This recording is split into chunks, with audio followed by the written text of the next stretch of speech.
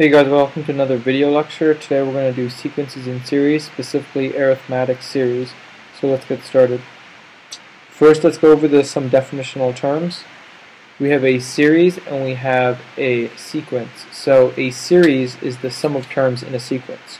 For example, a sequence can be anything like a list of numbers from which is an ordered list, so it has to have some sense of order to it.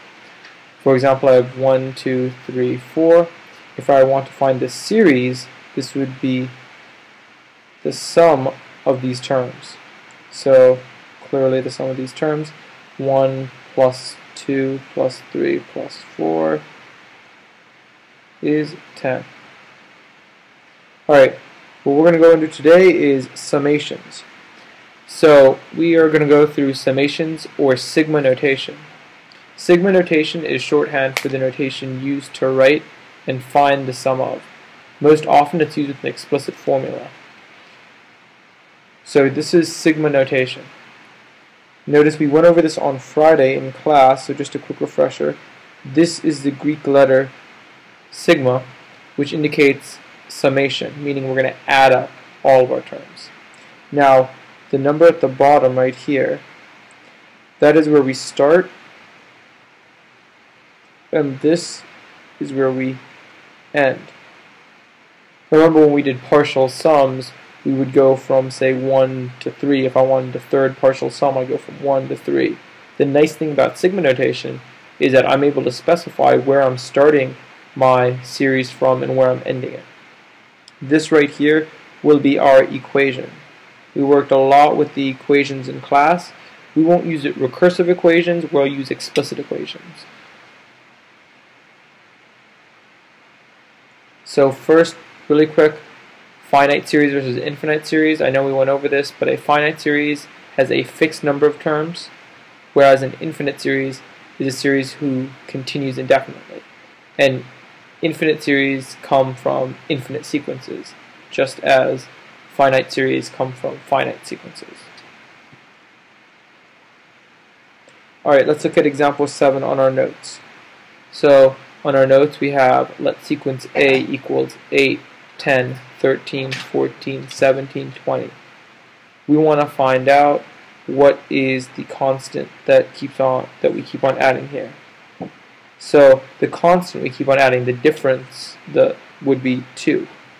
So notice plus 2, plus 2, plus 2, plus 2. Alright, great. So I found my difference, my D. Now, I'm going to look for my A3. So remember, A sub 3 means my third term. Well, I just look for my third term here. And my third term actually here, and it should be on your notes as well, is 12. So, that's 12. B. B asks for A sub 5. A sub 5, that's pretty easy. What's my fifth term? Well, 1, 2, 3, 4, 5. My fifth term is 17. Alright, those are two really easy ones. That's what we went over in class. We were looking at different term numbers. Let's look at this next one. Alright, so we're introduced to sigma notation. So remember, whenever we see this sigma, this means that we're going to have a summation. We're going to add the terms together. Where we're we going to start and where are we going to end? The bottom tells us where to start, and the top tells us where to end. So we're going to start with our first term. So this right here is our first term. And we're going to end with this last term. So my first term, and by the way, this is the equation I'm using. This just happens to say uh, I'm using whatever terms are in my list. So my first term, I'm going to start with my first one. So it's going to be a sub 1 plus a sub 2 plus a sub 3, and then I stop because this tells me I'm only going up to my third term. Alright, so a sub 1, so my first term is 8, and I'm getting that from right there. Plus 10, again getting it from right there. And this should be 12 guys. And that's 12. So I'm just looking for the summation, I'm looking to add them all up. So 8 plus 12 is 20 plus 10. You should get 30. Alright, so let's move on. let sequence A equal 8, 10, 12, 14, 17, 20. Find summation of, notice, right down here, I have where I'm starting. So I'm no longer starting at 1, am I? I'm starting from my second term. So this is very important. I'm not going to be adding my first term. I'm not going to be starting with my first term. I'm going to be starting with my second term. And I'm going to be going up to my sixth term. So let's go ahead and do this. So a sub 2 plus a sub 3 plus a sub 4 plus a sub 5 plus a sub 6, and then I stop, because those are the only terms I want to count. Alright, well my second term is 10,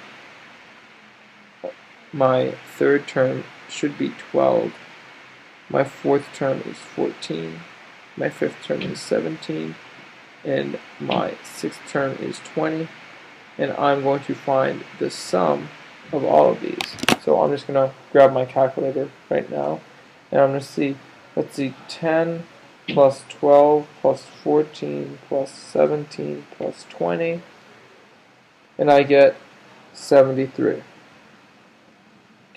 Alright, so notation is pretty easy, you just got to memorize what goes on the bottom and what goes on the top. Alright, so let's try one with a bit more difficulty. Let's look at example 8. So example 8 wants us to write an expression for the sum of the infinite series using summation notation. So this time they want us to put something in summation notation. Alright, well first let's look at this. Let's look at A. Negative 7, negative 1, 5, 11, and it goes on and on and on. Alright, so first of all these these two these three dots should let you know that this is an infinite series. So this is an infinite series. We're going to keep mind of that. And let's see what else. Negative 7 to negative 1 to 5 to 11. So do I have a common difference here? I have a common difference of 6 each time I'm adding 6. So if I'm adding 6 to each time, I know that I'm going to have a d of 6. And then what's my first term? Well, my first term is going to be that negative 7. Alright, well I can start I can start to write my sigma notation. And your sigmas don't need to be that pretty, guys. Don't worry too much about that. And where are we starting? Well, we're going to start from the beginning. So, I, and it doesn't need to be I, guys. You can make N, X, W, whatever you want. Just be consistent. I'm going to start from my first term. And it's asking me for the sum of the infinite series. So if it's an infinite series, think about this. Does it stop? No, it goes on for infinity. So at the top, you're going to place an infinity. Alright? Now, what's going to go here? Well, I need an equation to go there. I can figure out an equation for this, can't I? That's what we did today. That's all we did today. Alright, well I found my D, I know my A. I know my first term and I know my difference. So, A of n equals my first term, A of 1, and I'm using this equation right here, guys. This is the equation we used today in order to find out explicit formulas for the addition. Alright, so a, a sub 1 is negative 7 plus my difference, which is d, times n minus 1. Alright, go ahead and just plug that in here.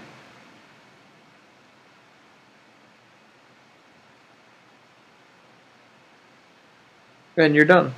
That is this infinite series written using summation notation.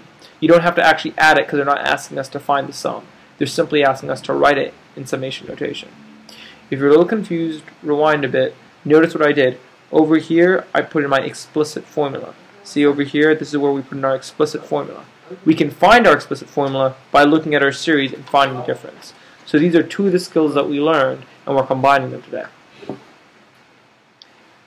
Alright, let's try this one. Let's see what's happening here.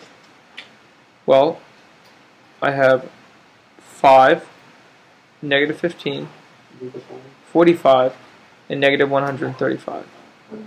So in each of these cases, I am multiplying. I am multiplying by negative 3 here, negative 3 here, and negative 3 here. So my r is going to be negative 3. And then my a1, well, what's my first term? 5. Okay? So now I want you to write this in summation notation, and I'll get us started, I'll get you started by just writing down this. You're going to have to get a formula in here. And remember, we're not using the additional one anymore. We're using the geometric. So make sure to use your geometric formula, and that should be in your notes that we did today. What's your geometric explicit formula? And if you know your R and you know your first term, you should be able to find that. So plug that in there. It's an infinite series, so if it's an infinite series, this right here is going to be infinity, and you're going to start, make this consistent, with n equals 1. So go ahead and try that one out. Remember, this is a geometric explicit formula that you're going to use. So it's the one that has the R in it. It's not recursive. Alright, so hopefully you pause the video, you tried that out, and then I'll check it in class to make sure that you guys have been doing the notes. We have an arithmetic series, so the sum of the terms in a finite arithmetic sequence. So if we know the last term, then this is what we're going to use right here. Now this is useful, say if I said add all the numbers up from 1 through 100. I said I want you to add all the uh, integers up, all the, all the positive whole numbers from 1 to 100 up. So that would be like 1 plus 2 plus 3. And you did that all the way up to 100. Well, there's actually a really quick shortcut way to do that. And that is the sum of my numbers, of my terms, is going to equal n divided by 2. So remember, n is terms. a1, which is our first, and a to the and an, which is our last. So notice that what we're going to need is we're going to need our n, which is number of terms. To need to know a1, which is first term. And you're also going to need to know an, which is your nth, or in this case, your last term.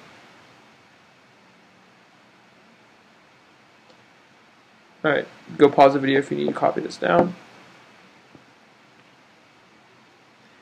Find the sum of the first 32 terms in the arithmetic sequence series, negative 12, neg negative 12, negative 6, 0. Let's notice the pattern.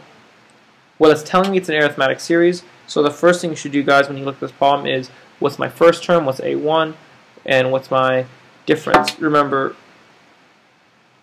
from the last slide, everything we needed, the main things we needed were this. I need to know the number of terms, I need to know the last term, and I need to know the first term.